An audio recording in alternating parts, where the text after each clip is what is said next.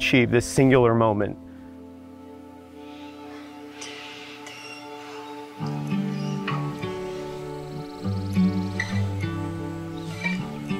Welcome to the moment. Welcome to your wedding. Circles within circles of love. From you, rings of so much love all around the two of you. It is honor for each of us to be here, holding you in our hearts and witnessing your love for each other in this monumental moment. But I wanna step outside and take it all in. Cause baby, it's like a light storm to be. Was lucky enough to grow up with Amanda as my big sister. Everyone here probably knows that Amanda wouldn't hurt a fly. Whenever I try to describe her to people, there are so many words that come to mind sweet, funny, intelligent, deep, intellectual, full of charming quirks, also loyal, and the most empathetic person. Amanda is one of the first people in my life who I felt like I could talk to openly about this and so many other things. This is partially because she did so much work on herself. I feel like the first time she came back from college, she truly metamorphosized into a butterfly from this cagey, depressed, black wearing vampire that used to live in my house that I'd barely ever spoken to. I think my daughter Amanda is the warmest, most beautiful, most genuine, most sincere, most holistic. She's the gal that others go to in trying times and say, Amanda, can you help me? She's just that person. Baby, it's like a light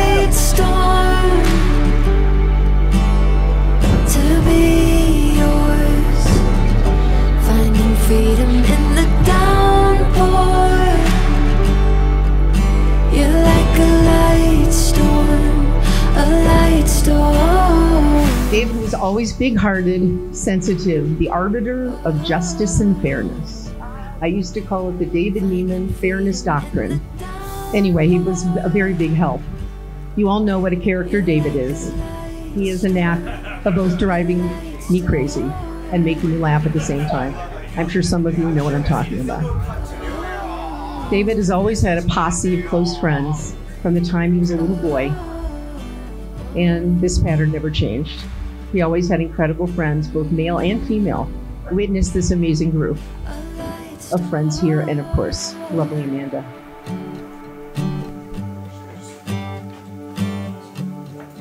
The undeniable truth is really just how much you love and cherish and remain fiercely loyal to family. That mantle of the family man, like that, that's yours. You make our family stronger. David, you are the uniter of people.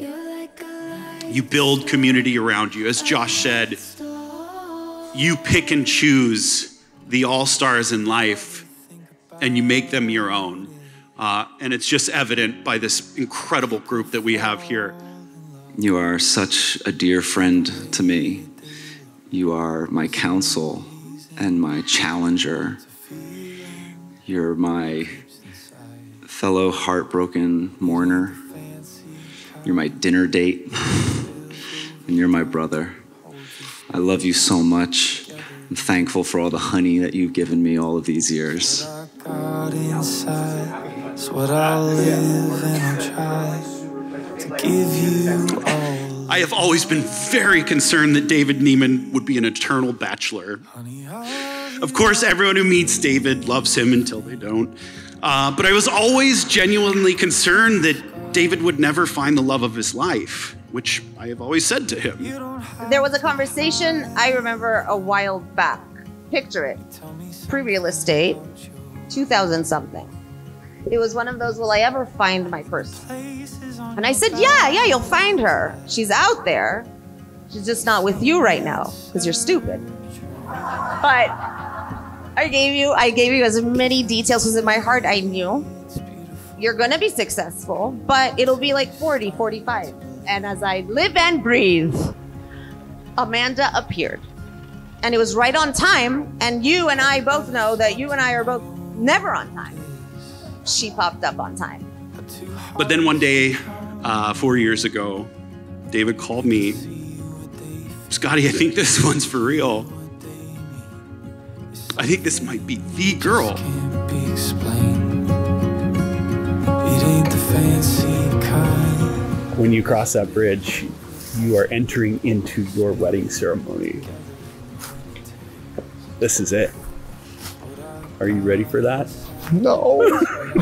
Jump in the river.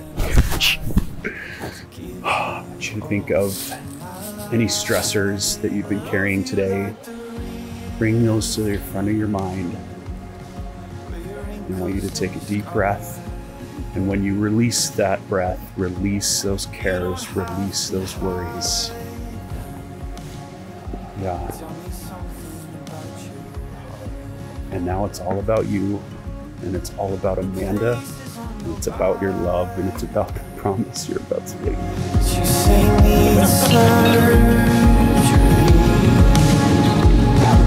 I'll kiss and say So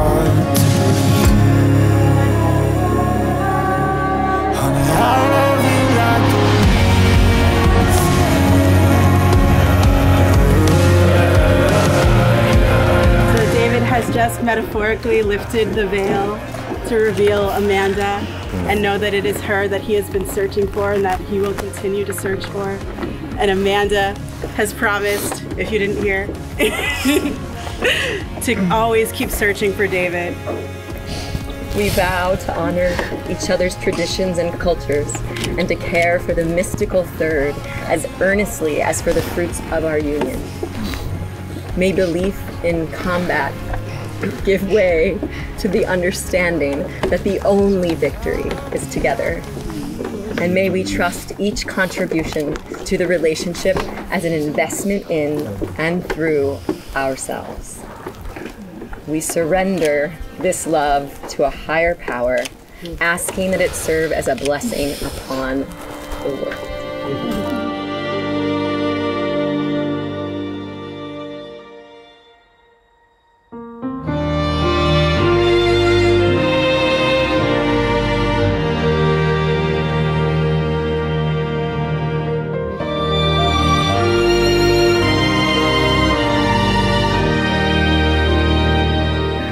I'm gonna work to make you as proud as possible. I already am.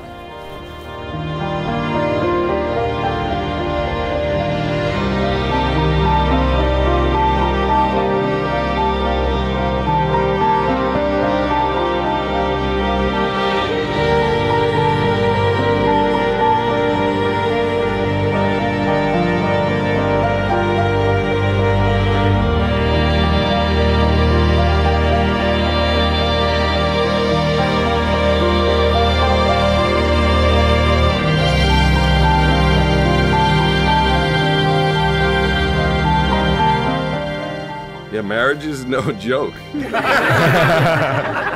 mean, somehow love, this beautiful, pleasant experience, is more than just a pleasant experience. and and I see the way the two of you hold each other and acknowledge the pleasant and the unpleasant together. And that's what this is.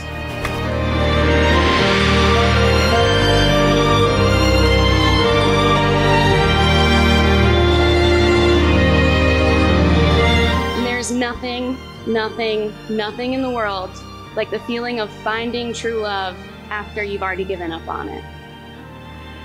It's astonishing and magical, and somehow, by the grace of the gods and goddesses, we both get. To anyone who knows Amanda and David, it's clear. And they're not perfect, of course. David, as you know, we were all very uh, culture shocked when Amanda first brought you home.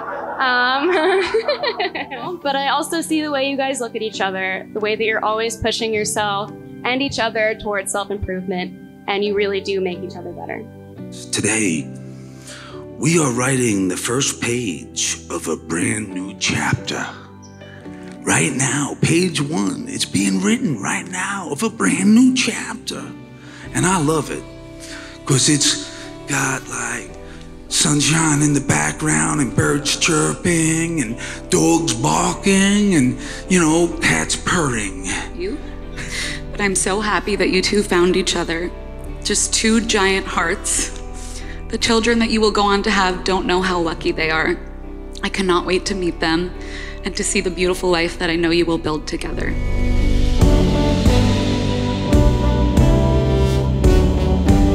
It should surprise no one to know that the first time I knew I was going to marry you was at a Phish show. it was our second show together, and it was the first time I heard the song Waste. You joked that I couldn't fall too in love with it because it was Heidi and Randall's wedding song. and so we'd have to find our own. And somehow that joke opened up this energetic portal into a reality we hadn't yet earned, but for the first time realized we were going to create. And it was this reality right now.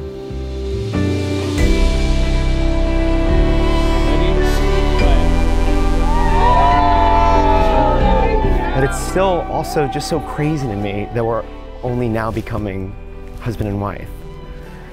At the heart of entering into marriage is that notion of struggle, of sickness and in health, in good times and bad. Because when I think about what we've already endured together, the heart wrenching, month long disappearance of my brother Andy, leading to his sudden death. Such um, an incredible honor to be sharing this role with Andy tonight. It was very important for both me and Josh to really hold Andy's presence today. Um, where are my Neiman Collingers? You guys truly took me into your family 25 years ago. And I just want you to know how important it is for me to hold Andy in my heart today. He is standing here by your side with both of you, with all of us, in such a profound way.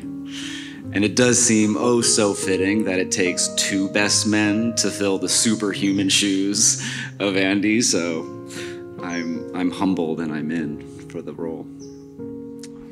And I think about how incredible it was that you and Andy finally bonded on that five hour road trip when we dropped him off at that facility in Pennsylvania. I had spent days with him and had lost my ability to communicate because of how sick he had become. But you didn't. You were so open and, and curious and nurturing and mothering and kind. And it so perfectly encompasses what a remarkable woman you are. On that memorable afternoon, which poetically turned out to be the final hours on this earth that we ever spent with Andy.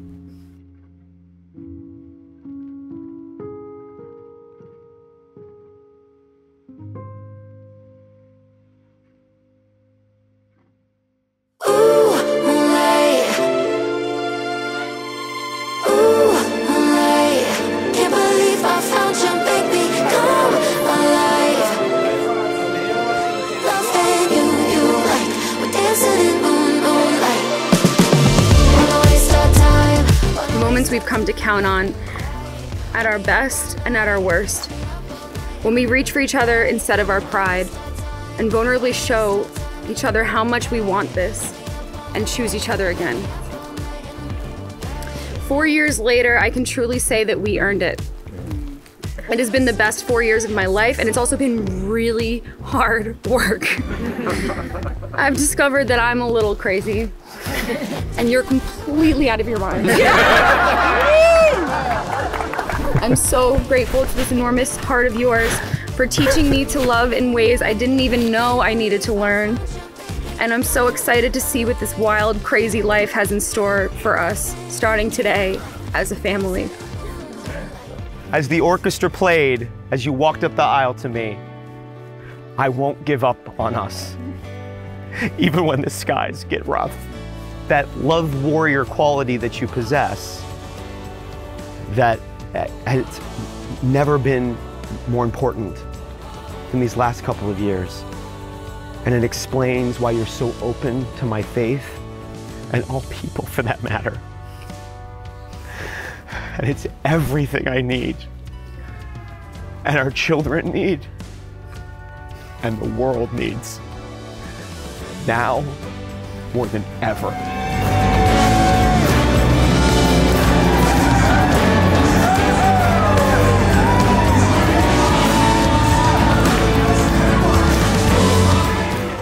Let's grow insanely old together, my love, through all of time, through the hardships as we've just endured, and the precious new gift coming sometime late next year or so.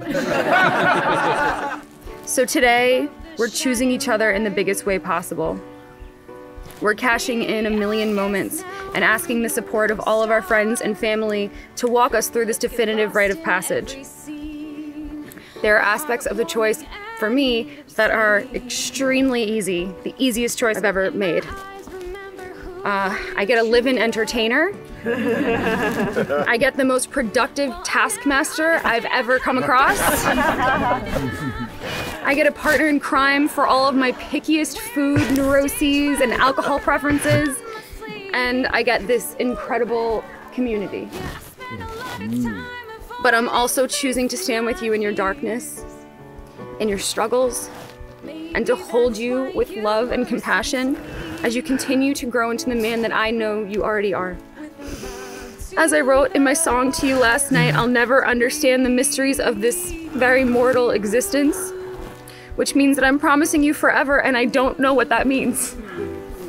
But I promise you my every effort to find those timeless moments of forever with you, minute by minute, and to love you for as long as I exist.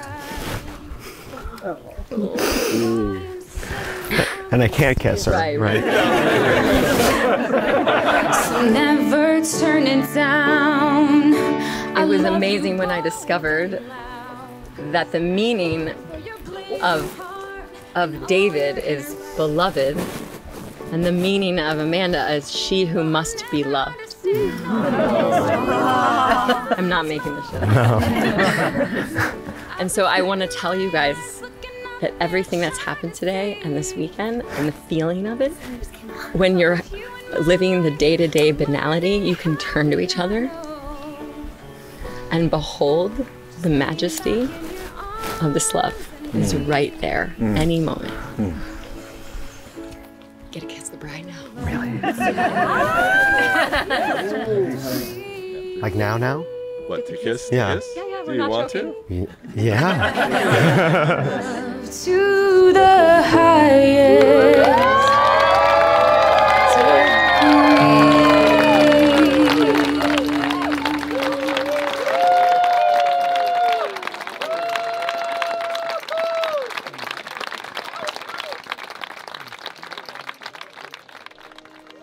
They're gonna break the glass, and then we are going to celebrate the hell out of the two of them.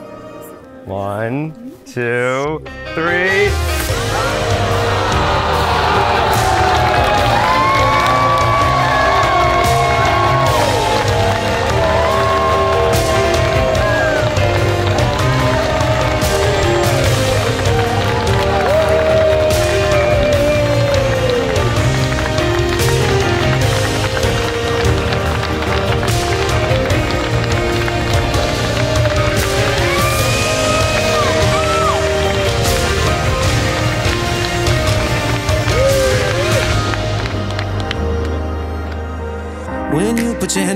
In I'm thinking so irrational.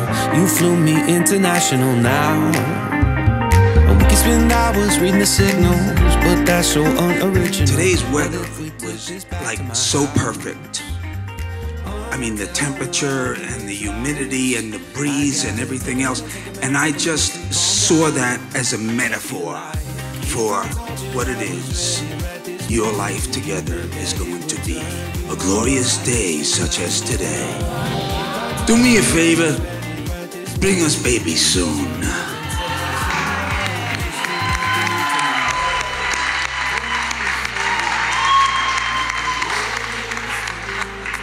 Amanda, this is my number one adventure buddy. And today, out in the woods, you said yes to the biggest adventure of your life. So please don't ever stop saying yes to adventure with David. David, I love you. You finally found your Axis Mundi. You found the center of your world. You found your little lightning rod. So hold on tight to this lightning rod and let her continue to ground you. And give her so much love that it truly takes the entire world to support.